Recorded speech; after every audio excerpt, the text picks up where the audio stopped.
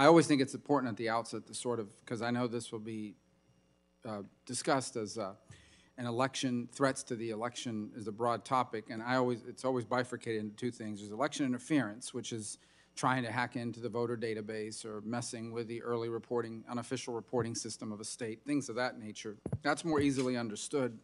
Um, and then there is this whole topic of influence.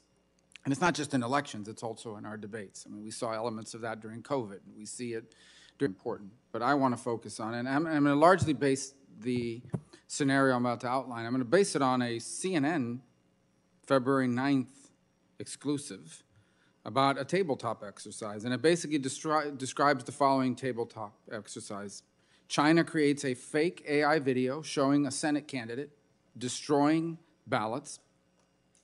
And uh, they're able to identify but that, that it's AI, that it's fake.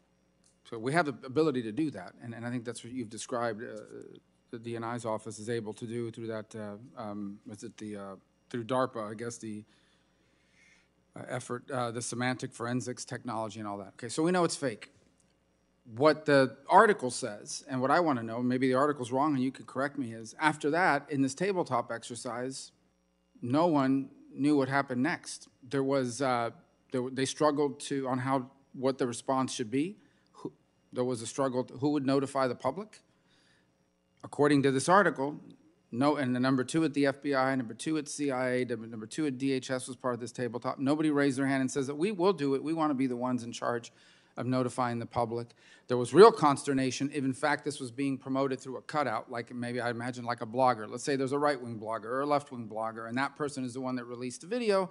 Now there was cer- certain fear that if we go out and say that this video is fake and this person is spreading it, people are going to say the government itself is interfering in our elections. And, and then a real question about if so many Americans already don't trust the federal government or the intelligence agencies, you know, how can we get them to trust us that this is not a real video? So here's what I want to ask. If in fact a scenario like this plays out, video comes out, let, I'm not in, on the ballot this year, so let's use me video comes out and it's me in an audio recording, fake, saying, yeah, I'm going to rig the election and I'm going to steal a bunch of ballots. It's fake. You know it's fake. What happens at that point? Because I'm now a week before the election, six days before the election. Does someone notify me? Am I able to say that? Is someone going to come out and say, this is not real? He really didn't say that. What happens? Because this article says it would be turned over to state and local officials. I don't know what a state and local official is supposed to do. They're going to turn around and say, yes, the DNI's office or the FBI or somebody told us this was fake. I, I don't understand what the process that would happen at that point is. Do we have a process that would kick in in a situation like that one that I just described? Yeah, absolutely. So, first of all, um, uh, uh, I wasn't at the tabletop exercise, so I don't know what happened in that particular scenario, but I understand that's not actually um, an accurate representation of what the discussion was.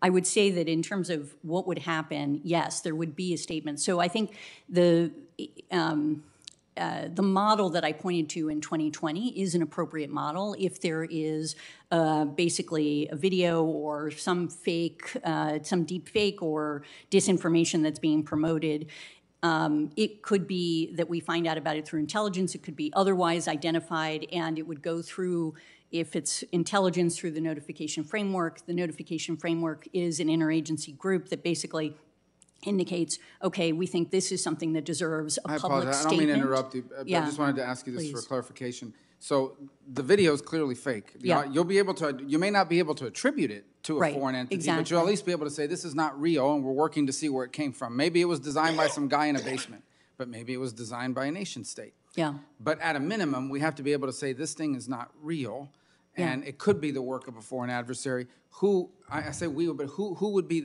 Would you, would you be the one that would stand up? Is it is it the DNI? Is it the FBI? Who would be the person that would stand before the American people and say, we're not interfering in the election. We just want you to know that video is not real. Who would be in charge of that? Yeah, so I could be the person that goes out and makes that determination. And I'll just give you an example